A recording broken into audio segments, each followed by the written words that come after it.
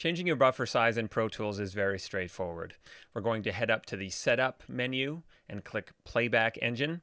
In here, we can choose our playback engine, which is the audio interface that we're routing audio in and out of for Pro Tools.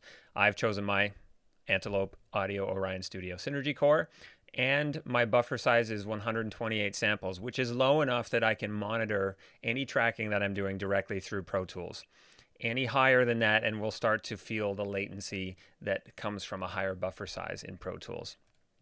To see the session sample rate, we're going to go to Setup and Session. And unlike other DAWs, we can't change the sample rate after we've created the session. So in this case, I chose when I was building the session to record at 48 kilohertz. That's what it's set to for the remainder of this recording. And there you go, a couple of useful tips for Pro Tools. Give us a quick like and a follow for more Sessionwire short videos in the future. I'll see you in the next one.